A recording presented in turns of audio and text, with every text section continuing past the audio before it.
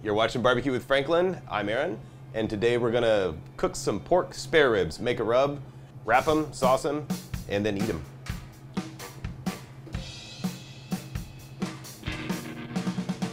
It's rib time. We're gonna start off by making a, a rub for these pork spare ribs. I've got one empty cup. This is what I will use to mix. As usual, salt and pepper, of course, is the base for anything awesome in my book. I'm gonna start off with about that much black pepper, about half that amount of salt. My general ratio for pepper to salt for pork ribs is two parts black pepper to one part salt. They're really thin and they're really easy to oversalt. That's kind of the basic thing, and this is what we do here at the restaurant. But salt and pepper is getting a little boring, so we're gonna throw some other stuff in there. It's a little bit of chili powder, not too much. I'm gonna throw a little bit of garlic powder. If you're doing onion powder or garlic powder, you wanna try to do more of a granulated kind of thing. If they're really powdery, it's gonna settle and it's gonna clump kind of oddly. It might even cake a little bit. So just sprinkle a little bit of that for some savory spices. A little bit of onion powder, not too much. And for color, not so much for flavor, I'm gonna add some paprika. Paprika is pretty standard for rib rubs. I'll give kind of a nice red color to it. Real simple, kind of mix it up. I'm only doing one rack of ribs, so I'm not making much rub here. But what I am gonna do, I'm gonna pour it in a shaker. Get the rub on the ribs really, really even. Unlike brisket and other things where you can just kind of throw the rub on there, put it on the smoker, there's not as much smoke that goes on a, a, rack of ribs, so I think it's a little more important to have a real even coat so you can see just pepper. It doesn't look kind of splotchy. You don't want it too heavy on the thin side. You don't want it too light on the thick side. And that's why I'm using a, a shaker, just to keep it kind of looking pretty. Now that we've got our dry rib rub made, I'm gonna trim some ribs. Ooh, looky, pork ribs. So what you're looking for when you go to the grocery store is you're looking for pork spare rib, not St. Louis cut and not baby backs. Baby backs come from a different part of the pig, little leaner meat. Uh, spare ribs typically have a lot more fat. They're gonna be a lot more moist and they're gonna have a lot more flavor. The full spare has the breastbone attached right here. So we're gonna cut that off here in a second. It's got anywhere between 11 to 14 bones. You can normally kind of count on 12 and it's not trimmed. If you look around here, it's just, it's got the bones and then it's got the cartilage and stuff in there. It's not trimmed, it's got the skirt on it, and it's got kind of a tip right there. What you're looking for, ideally, is something that has a lot of fat. And you don't want it to look too terribly lean, but you want to be able to see some striations of fat right there that kind of go with the grain. Lots of striations in there, that's going to be a lot of flavor. It's going to render more moist ribs. They hopefully won't dry out quite as quick if you'll notice here that this end is really thick. If I was doing a competition, my competition ribs would come from right here because those are the thick ones and they have the straightest bones. But we're not doing competition, we're gonna eat this stuff. So we're gonna cook the whole thing. The knife that I like to use is a 10, actually it's a nine and a half inch, uh, just chef's knife. You're gonna be hacking through some bones and stuff, so if you have a really nice, delicate knife that's kind of thin, you probably don't wanna use it. You could use a cleaver. You could use a Yodeba, which is a Japanese um, butcher knife that's shaped like a chef's knife. I use them pretty often, but they, they get kind of heavy when you're doing 60 of these things. So I like kind of a lightweight one with a thick blade. Let's get to trimming. First thing we're gonna do is kind of square this up. And there's kind of a baby little rib right there. It's probably gonna fall out while we're cooking it. It's probably gonna burn up anyway. So I'm gonna kind of put my knuckles right there. You're gonna lose it regardless. I kind of flip it around like that you can slide your knife a little bit and it'll hit something right there. Gonna cut like that, kind of go through, and there's cartilage right there. If you feel something that's pretty crunchy, there are little pieces of bones that go through there. If you hit something, just go a little farther in until, it's, until the coast is clear. Get rid of that, or you could save it to use it for beans, or if you want to make a pork rillette or something, you could certainly do that. And this is what they kind of call a Kansas City cut, and that's a full spare minus the breastbone what I normally do is I kind of just box it off a little bit. I get all the rough edges off because you kind of figure if something's sticking out, it's going to burn anyway. Kind of hit the skirt.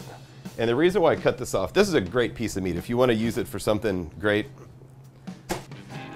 I normally don't. If you don't cut it off, when it heats up, it's to pull up anyway. So you'll have rub, you'll have smoky color all over this part, and then you'll have a bald patch right there. Don't really want that. At that point, flip it around. You've got this. And if you like bacon or anything, this is where the pork belly is. The pork belly is just the fatty backside of this. So this meat's pretty good right here. It's got a lot of fat. But I always trim that off. Could have been a snack, but it's not. Trim that off because after it's cooked, when say if I'm if we're having a lunch service and I'm cutting these things, if I left that piece of meat on there, the fat would cook out from between the two pieces of meat and it would just slide right off on the board. And that it's not very attractive and it's not gonna have any bark on it. Everybody knows we like bark. Just kind of trim it off a little bit. So while you're doing all this, get it kind of trimmed, run your hands across the bones right there. A lot of times, if you're getting mass produced ribs from various companies or even smaller companies, when they run these things through a bandsaw, they'll go too fast and they'll chip the bones sometimes. Now that we've got our pork spare ribs trimmed up, we've got the breastbone off, we've got it trimmed up nicely, skirts trimmed back, little piece of fat's notched off the back. We're gonna pull off the membrane. Here at the barbecue place, I don't pull off the membranes, but most people do. They definitely turn out better ribs, and if you're only cooking a couple racks, you might as well pull them off. And what the membrane is, it's exactly a membrane. It's a membrane goes right here. It's going to be on the inside of the rack of ribs. It kind of protects the, the muscles from the organs and kind of the stuff we're not going to cook. To get that off, take your little knife,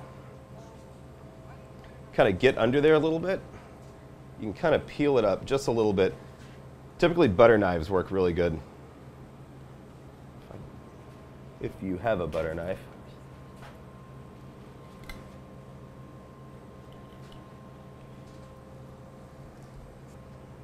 I'm right-handed, so I'm gonna flip it around that way. They get really, really slippery, so grab you some paper towels. And that'll help you grip it. Kind of go to town. Hopefully it'll come off in one big strip, if you're lucky. Oh, I like getting lucky. That's neat. It's a pretty nice looking rack of pork ribs. Got the breastbone cut off, the skirt off, the membrane pulled off. Unfortunately, we've got a couple bones poking through right here. A little term for that is called shiners. It typically refers to the other side, but in this case, it's this side.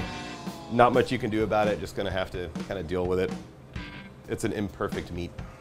Well, barbecue's an imperfect thing to cook anyway. I think we're ready to put a rub on. So we've got our rub made. Gonna open that up just a little bit. I always like to use a shaker for ribs instead of just using a cup or like a hand and throwing it on. I think it's a lot more important to have a nice presentation with pork ribs because it's a more delicate meat. But we need something to make the rubs stick. I like to use olive oil. Normally I use a squirt bottle, but well, just kind of put a little bit on there. Using olive oil is pretty awesome for steaks or for really any cut of meat. If you're gonna grill something, it's normally a pretty, pretty great way to, to start off anything. I think it's great for tri-tip. So you kind of rub it down just a little bit, flip it over, get the other side. Not too much, just enough to make the rub stick. That's kind of the thing with brisket. I don't do anything like this because there's so much blood that comes with a brisket, it makes the rib stick anyway. But ribs don't really necessarily have a whole lot of blood. They don't really have a whole lot going on anyway. So we got to add some stuff to it. I like to do the meat side first. If you've got granules that are of different size, you want to keep it moving all the time so something doesn't settle to the bottom, then you end up with something too salty. Salt normally settles towards the bottom, so I put the holes up top when I'm holding it. So kind of sprinkle it on there. And I like to look at a lot of pepper. I think that looks pretty good. If you'll notice, it's really even. There's no splotchiness. I didn't get too much here. I didn't get too little here. I think it's pretty good. If you've got ribs that are really, really thin, be kind of careful with the salt because it doesn't, doesn't take much salt to get it in there. Delicately flip it over. For this side, and this is just me being a little OCD perhaps, I typically do the rub that way. So if there is a streak, it's actually going parallel to the bones. Doesn't really make any sense or mean anything.